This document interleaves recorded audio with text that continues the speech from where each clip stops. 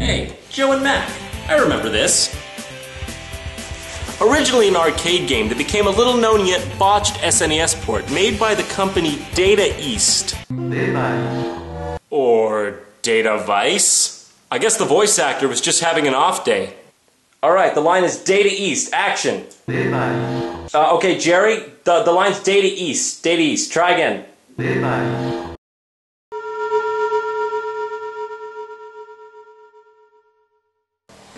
I feel somewhat compelled to revisit this game. Let's dive in, shall we?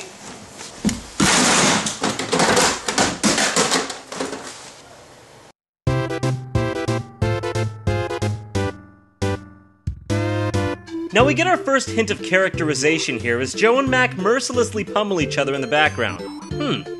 You can choose from one, two, or two players super, but super mode is hardly as advertised. It just makes it so you can beat the shit out of your partner and stand on his head. Real super. Let's just go with one player, shall we? Jon, can I play too? Oh, Jacques, you can't play. You don't have hands!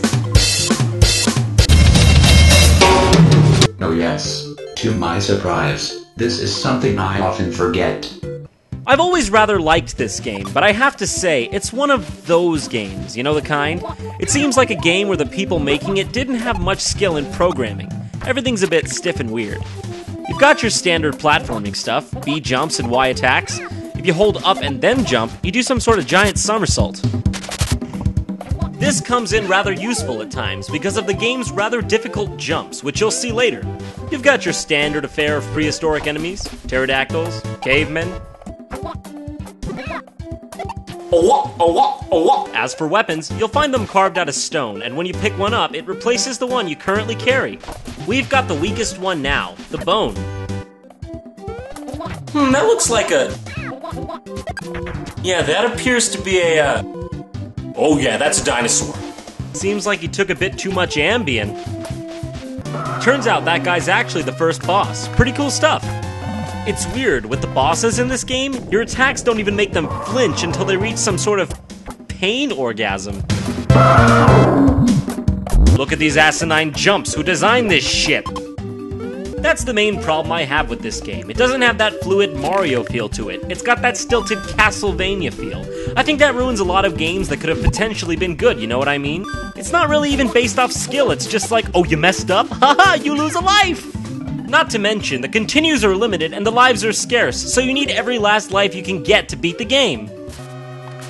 Well, who's this? I'm starving! I swear, when this boss gets hurt, he yells pear. pear.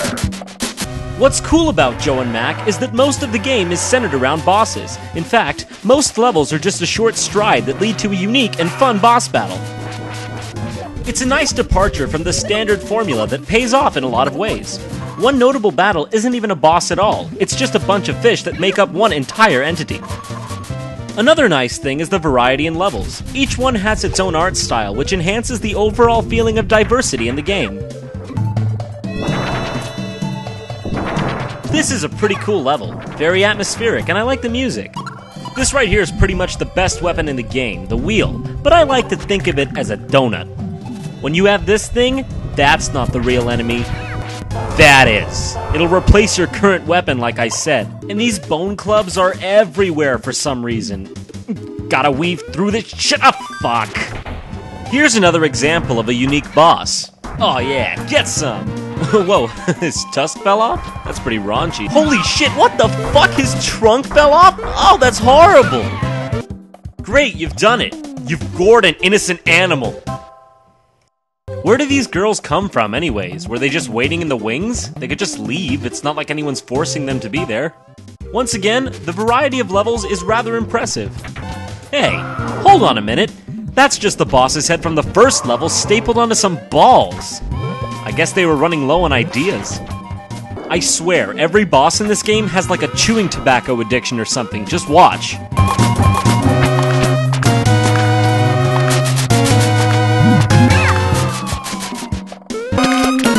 You know what's always a great thing to add into your game? Undodgeable attacks. Oh, hey, awesome, a bonus stage. Oh, cool, it got my health back. Oh, okay, I mean, well, I mean, it filled up after like one. I mean, okay, just like one was fine. Well, here we have the final stage. Hmm. Oh, god damn it, another one? Did they really have to recycle the same boss three times? Not to mention, this one's hard as gravy train tits. Tight, we beat it with half a heart and zero lives to spare. Talk about good fortune.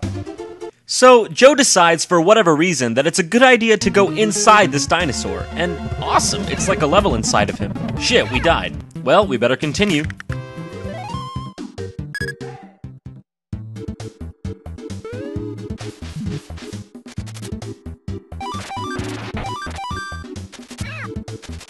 Oh, fucking wonderful. You don't get a midpoint save. You gotta do the whole thing in one run. Beat the dinosaur again, go inside, and get to the final boss, which is a. devil thing? What? What? What? So we beat him. Oh, yeah. Oh, never mind. He just pulled a bayonetta on us. I really love this. The music finally changes from the normal boss music to this kind of psychedelic tone. And the boss becomes really hard. There are no cheats for this game, so when I was a kid, it was always a real struggle actually getting this far. But when I finally did, it was sort of mystical. It's not so much that his animated sprite was so amazing in itself, it's just that the only way you could see him was to actually play this far.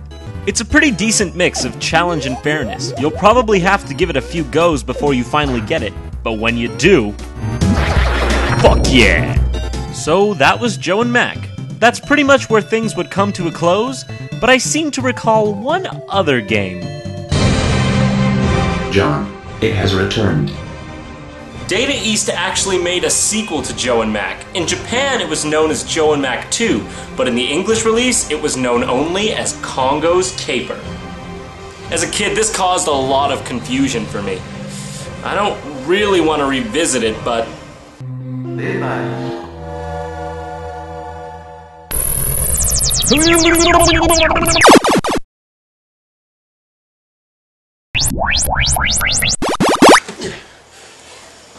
Jon, how did we escape? I just left. That seems too easy. I just left. Congo's Caper. You're apparently a monkey fucking around and shit when two red balls fall from the sky and turn you into monkey people? Pulitzer worthy. Well, here you have it, ladies and gentlemen. Joe and Mac 2?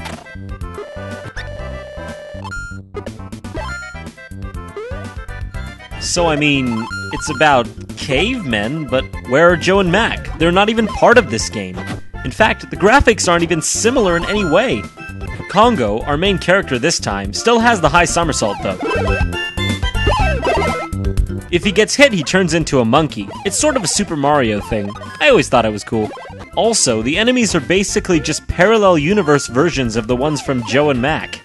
I have to mention though, the controls this time around are quantifiably better. It feels like the programmers knew what they were doing. You've got a similar attack this time, but no power ups, just the club itself. I'm sorry, what? What's that about? I guess Data East had a good sense of humor. After reaching the boss stage, you notice something a little funny. Hmm. It's like the exact same boss! What is this game? Why does it exist? If you get three of those red gems like we saw in the beginning, you turn into a. Flaming Congo? He can now take three extra hits before becoming a monkey and jump as high as Madonna's tits. After beating this familiar faced boss, Congo goes inside of him. What? Why? Again? Was Joe and Mac just the pinnacle of ideas for them? They couldn't think of anything new? Data East, a company of cavemen, dinosaur bosses, dinosaur insides, and neck balls. Look at this boss. I think it's a girl. It's even similar to the last boss of Joe and Mac, but not nearly as cool. You club her in the vagina a few times and beat the first world. Who are these guys? The Nerd Brigade?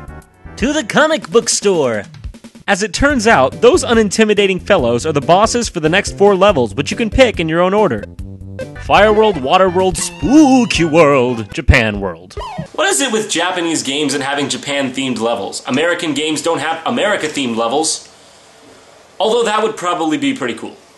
I have no idea what to think of it. None. Why did they make it? Did they think no one would notice how weirdly similar it was? And also, in Japan, why was it called Joe and Mac 2 if it has nothing to do with Joe and Mac? John C. Stennis. Motherfucker.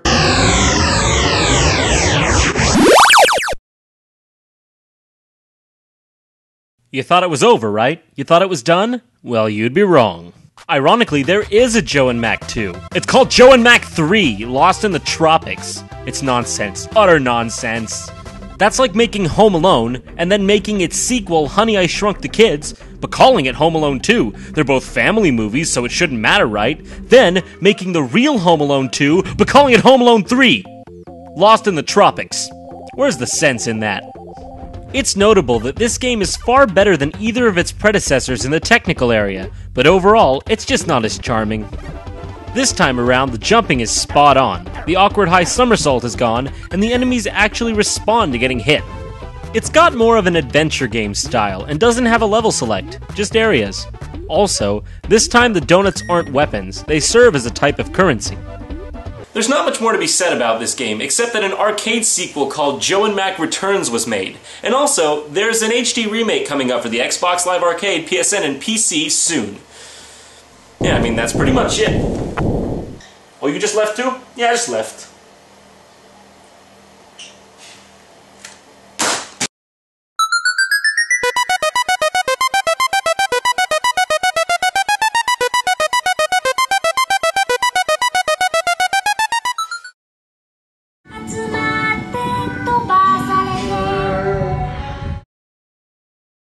Great job.